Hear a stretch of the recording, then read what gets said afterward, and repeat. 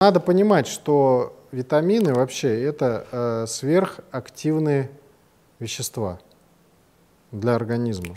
Ну, то есть дозы маленькие, а эффект большой. Э, и вообще любые активные вещества в организме, не только витамины, вообще любые, которые вызывают прям живую реакцию организма, вещества, они э, при передозировке всегда в первую очередь проявляют токсический эффект, так называемый. То есть они токсичны, если их передозировать. И витамины никак в этом плане от других активных веществ не отличаются. По сути, витамины это те же гормоны, ну только немножко по-другому они работают, чем гормоны, да. Просто, скажем так, ну, чтобы аналогию дать, да, вот гормоны, если вы передозируете, это очень плохо. И все это понимают, да. Если вы там передозируете какой-то сердечный препарат, который понижает давление, то у вас просто сердце остановится.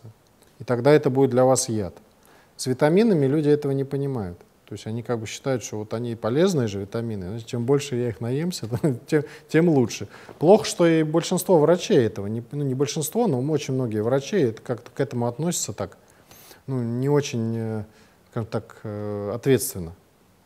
Вот. И происходят э, передозировки витаминов у людей, и проявляется токсический эффект. Какие токсические эффекты? Как будто вы отравились.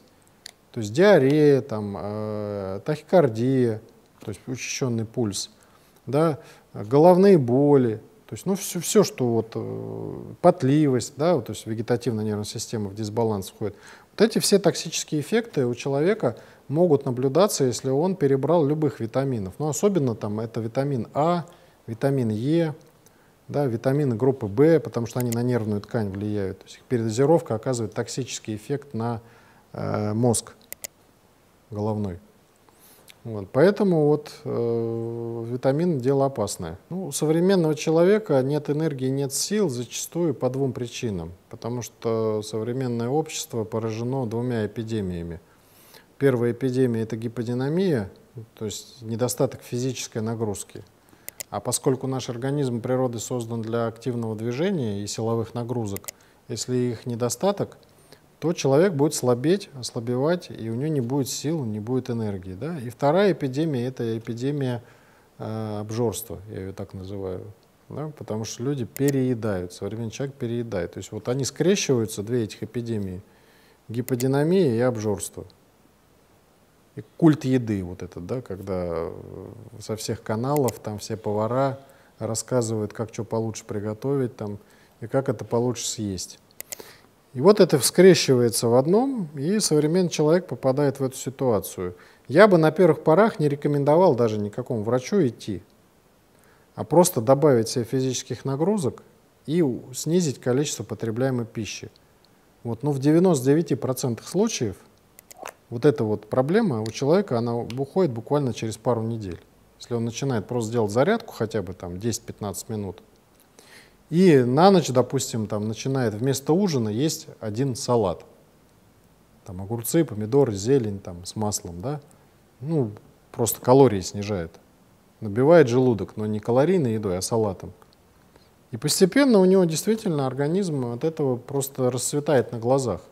Если уже это не помогло, вот там пару месяцев вот мой совет поприменяли, ну тогда можете пойти обратиться к доктору. Ну, лучше всего идти в таком случае. Не сразу к какому-то специалисту, там, эндокринолог, либо диетолог, либо там какой-то кардиолог или невролог, да, сейчас принято, сейчас это модно, идти сразу вот к узкому специалисту какому-то, там, нутрициолог, например, да, а пойти, найти на районе у себя, поспрашивать у людей, найти самого старого авторитетного терапевта, вот такого с опытом, да, с клиническим. Пусть он будет какой-то пожилой, такой мудренный, да. И вот пойти к нему сходить, записаться на прием, попасть к нему, сходить. Вот, вот, вот он как бы, во-первых, поймет, если у вас сразу, потому что человек, врач с опытом, он понимает, э, ты еще не успел зайти, он уже тебе диагноз поставил, да, вот, ему не нужны для этого какие-то там приборы и так далее. Он уже примерно понимает, что и он тебе тогда скажет, что, товарищ, у тебя ничего серьезного нет. Там, сдай пару анализов, я посмотрю там, и так далее. Или скажешь, знаешь, у меня подозрение, что у тебя вот что-то вот это, допустим, неврологическое что-то, да, или гастроэнтерологические какие-то. И он направит тогда. У него, как правило, у такого врача есть проверенные специалисты, которые он своей жизнью наработал. И он знает, что они действительно помогут. И он направит вас тогда уже по, ну, в нужном направлении. Вот так надо действовать. Во-первых, э, все-таки летом э, стараться обязательно хотя бы полчаса в день проводить на солнце. Ну, вот, как бы это ни, ни казалось там, ну, банально там, или что-то, ну, на, найти время для того, чтобы получать солнечные ванны. Вот кто живет там в деревне, тому проще, там можно там выйти на участок и полежать на чем-то, там, на одной 15 минут стороне и на другой, да, и уже этого будет достаточно. Вот. Городским жителям, ну, стараться там, допустим, мало того, вот я такой совет иногда даю по поводу вот гиповитаминоза, витамина D. Э, снимайте солнцезащитные очки. Вот, ходите без солнцезащитных очков э, побольше. То есть при каждом удобном случае снимать. Потому что сейчас такая ну, привычка у людей все время в солнцезащитных очках ходить, и это сильно достаточно снижает инсоляцию, вот, воздействие солнца на кожу. Вот, поэтому летом старайтесь, как бы, если совсем солнце глаза не слепит, снять очки лишний раз и как бы без них побыть.